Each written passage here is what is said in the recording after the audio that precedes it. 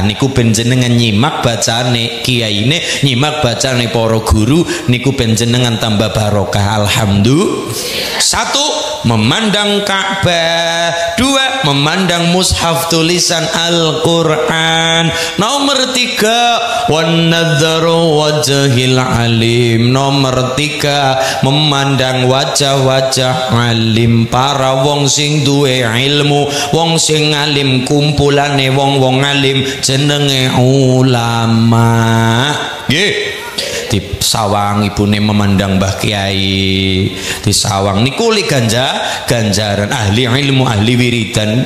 Dalaman kulon kan pada seneng wiridan lah ini wajahnya beda padang mencorong. Wiridane per ngisa ber subuh luwi-luwi. Cekelane tasbih gedene sekelapa-kelapa. War war war war war mantep Mariatis